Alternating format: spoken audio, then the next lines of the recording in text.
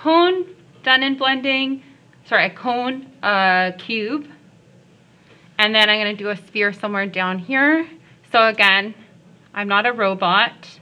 I'm gonna have to lightly sketch my circle until I'm happy with the shape.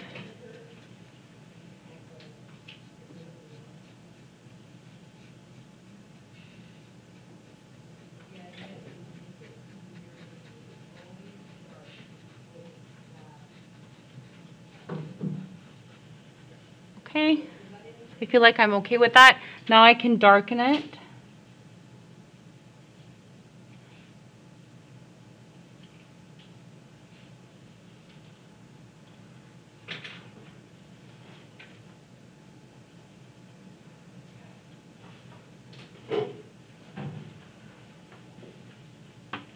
Okay, and I'm going to choose my light source. I'm going to stay consistent with these. I'm going to say the light is coming from this side. So light source.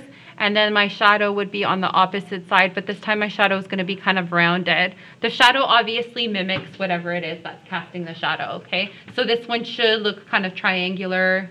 This one can just look straight, like square. This one is going to be a little bit rounded. It's like when you're walking in the sun on a hot summer day, right? And you look at your shadow on the ground. It's going to be like an elongated version of you. It's like a stick person shadow, right? So in this case, it's going to mimic the form, okay?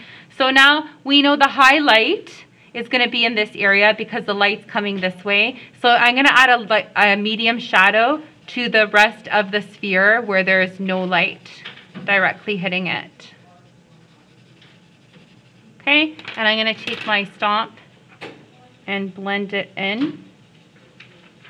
You'll notice now that your stomp is a little bit dirty, it's actually really nice to shade with because it's got a little bit of pencil on it, which helps you uh, with those light gray areas. Sometimes you don't even have to add more pencil to the paper. You can just kind of rub your stomp on it and get that perfect shade.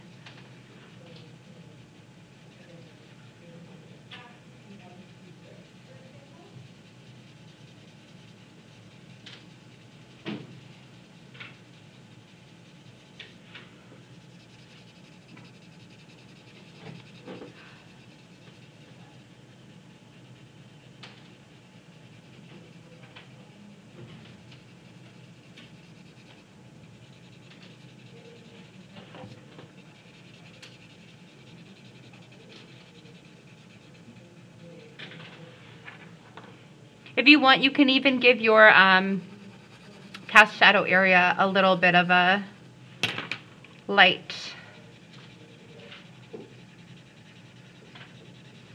shade.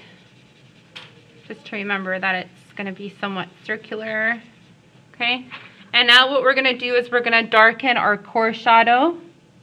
So I'm going to build it up by layering it up leaving a little bit of reflected light around the edge of the ball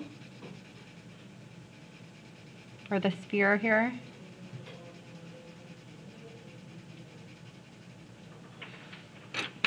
Okay, and go back in with your stomp.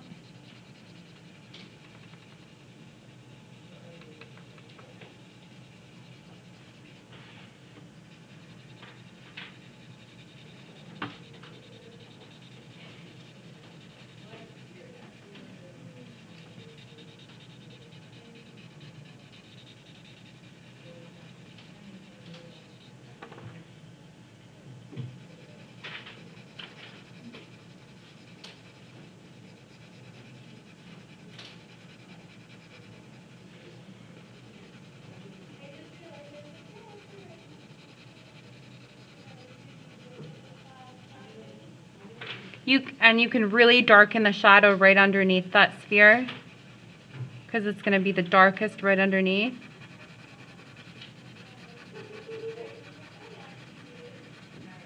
Right, and then you can stretch it out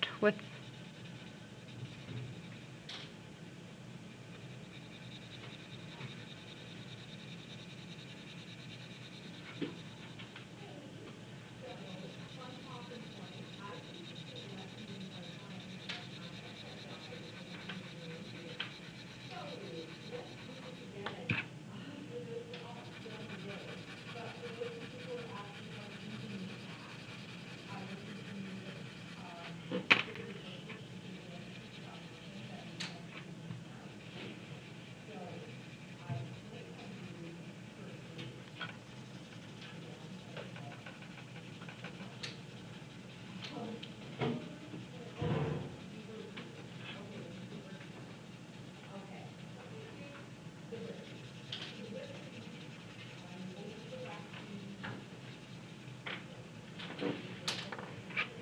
Okay, and if it gets really, really uh, messy, you can always take your eraser and just clean it up. Even the, the shadow on the floor, on the surface, you can kind of reshape it a bit with your eraser.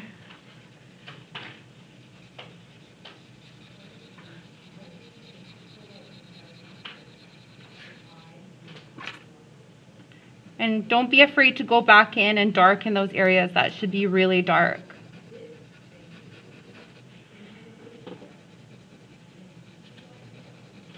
It's going to take a lot of layering to make it look good.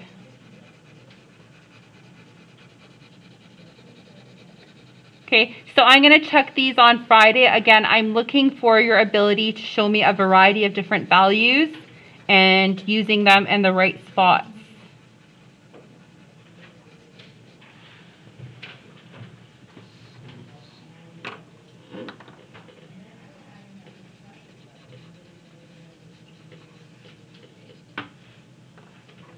Okay, and we can even go ahead and label these now. So we have uh, 3D forms, can be the title. Okay, we have here a cube. You have a cone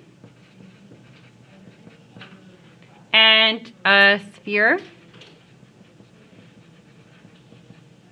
Okay? And then you can go ahead and point to the different areas and tell me where is the highlight, where is the midtone, where is the core shadow, where is the cast shadow, where is the reflected light on all three of them.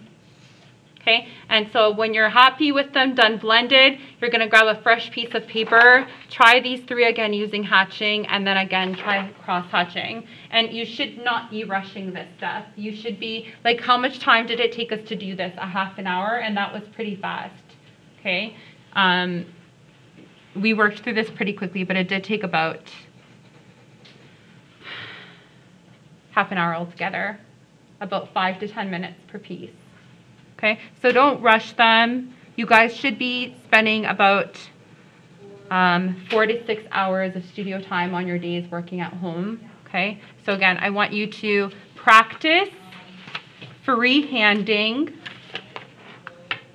forms until you feel like they look good okay? Feel free to use up as many white sheets of paper. Just practice, practice, practice using lines and freehanding forms. You can try the cone using the steps that I showed you. Your cone should have a nice rounded edge to it, not a flat edge to it. It shouldn't be a triangle, okay?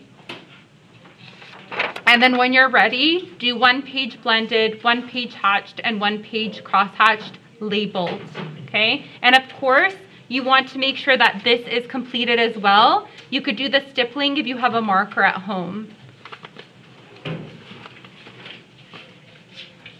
And then the rest, you, you should have got the majority of done it in, in class, but you might have like the last two to finish up at home. And again, when you squint at it, I should see five distinctly different colors. Pardon, this interruption to class.